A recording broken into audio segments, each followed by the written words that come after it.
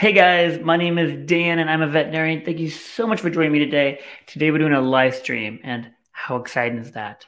I'm going to be talking about eyeball scratches, which is basically, guys, a corneal ulcer. Corneal ulcers are when the cornea is damaged by some kind of trauma, possibly, and that leads to squinting, ocular discharge, all kinds of stuff. Now, Today, I'm going to cover the three kind of corneal ulcers I see pretty darn regularly, which would be your superficial or uncomplicated, your indolent or unhealing, and then your really deep ones, which we may need to get some help by a specialist. But before we do that, let's go to our comment section really quickly, guys. So I've had a lot of these questions. My dog's eye is watery, he's squinting. I don't know what to do. Send help. Also, our dog is scratched by our cat, squinting, same kind of deal. And then another one, the French Bulldoggy has an irritated eyeball as well.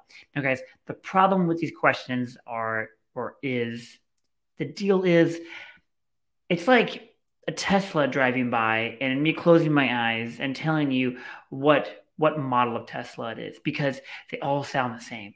Without looking at the dog's eye, I'm not going to know what kind of ulcer we're dealing with. So then we don't know how to approach it. So let's break this down. First off, when you walk in the veterinary hospital, remember an ulcer is pretty darn simple. So let's just get it diagnosed.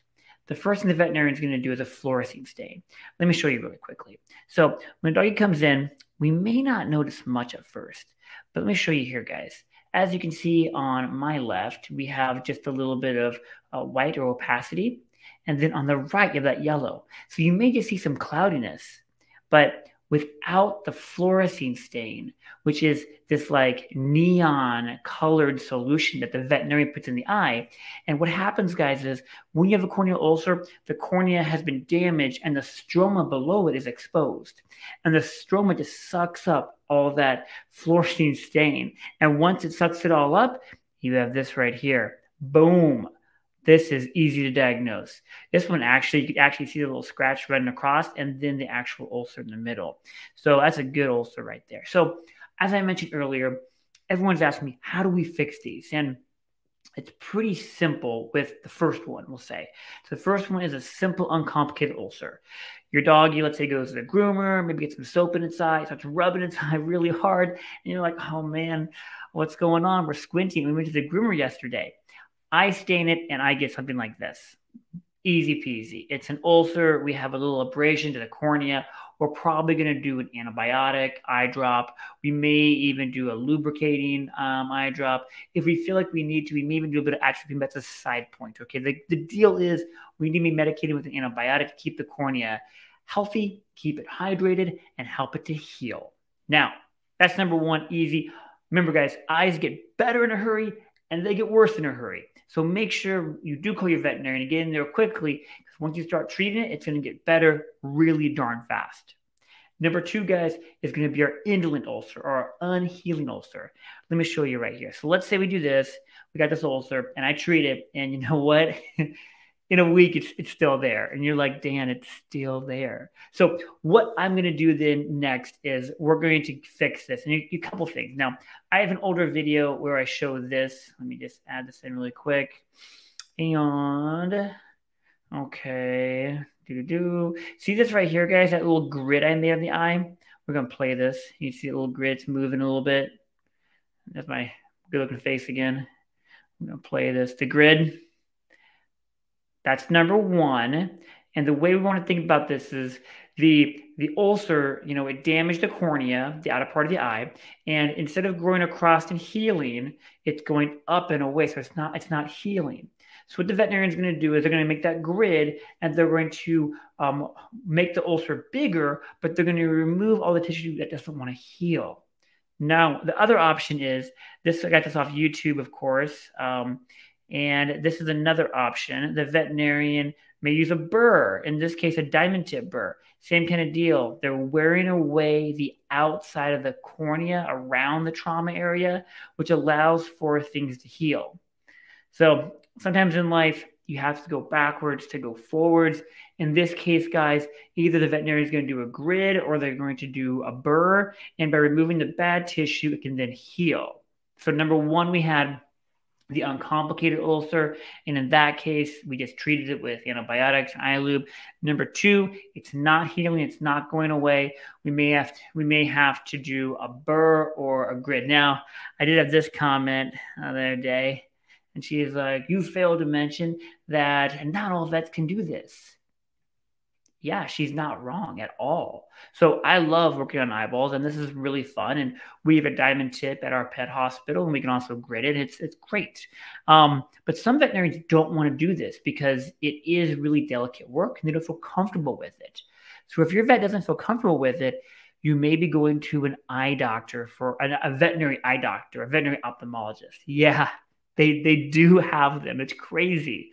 I remember before I got into vet school, I didn't even realize they had specialists. And as you're going through vet school, they're telling you um, refer this, refer that, and you actually have specialists outside of just going to your routine vet. Because I, grew up in a small town, and we just took our dog to the local vet, and he would do everything. Now, guys, if your vet hits a ceiling and they can't fix it, they send you to a specialist. So I practice in Nebraska, and we have one specialist here in Nebraska that does eyes. If they can't see my doggy I want to send off, I'll send like Iowa State or K State or what have you. So in that case, um, that that that that person's correct. You may have to go see a specialist if your veterinarian does not feel comfortable doing a grid or a diamond tip burr to fix an unhealing indolent ulcer.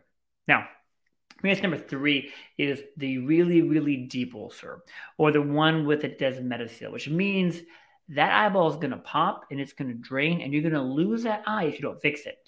So my brother um, and his wife uh, have a, had a really sweet doggy, and that doggy um, kept getting really, really deep ulcers. And I worked on it forever, but at the end, I couldn't fix it. So it went and saw an, an eye specialist, and that specialist did um, a conjunctival graft.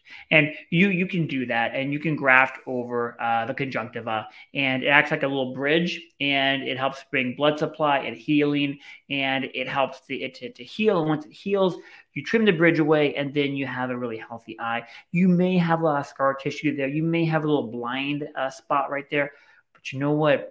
You save the eyeball, so that's really really darn cool. So eye specialists do have their place. Um, for the uncomplicated, you probably don't need them. For the indolent or on healing, some vets will fix it, others need help, and it's okay. And then number three would be the really deep ones, and I send these off too. I'm like, if you can go somewhere today, this is an eyeball emergency. If you want to keep that eye, you need to get going, okay? So those are our three, and that is why, guys, I can very rarely give advice, and I never give medical advice on here because I'm a veterinarian myself. But regarding like if someone calls me on the phone, or if I'm trying to help somebody out, um, a client or something regarding an eye, I literally tell everybody I have to see the eyeball before I tell you what I do need to do because every eye is different. And remember, they get bad in a hurry and they get good in a hurry. Eyeballs are very finicky like that. All right, guys, my name is Dan. I'm a veterinarian. I hope you enjoyed this live stream. In the future, I will try to respond to um, the chat side of this. Not gonna lie, guys, there was like a whole bunch of things going on in this stream, so it's hard for me to click through stuff and not have a lot of lag time. But if you liked it, please go ahead and share it and like it. I would greatly appreciate it. As you guys probably noticed, I've been gone for about a month.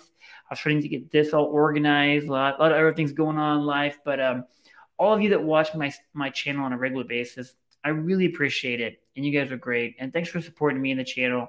Um, it's been a labor of love, and um, yeah, yeah. But with that, you guys take care, and I will see you next time.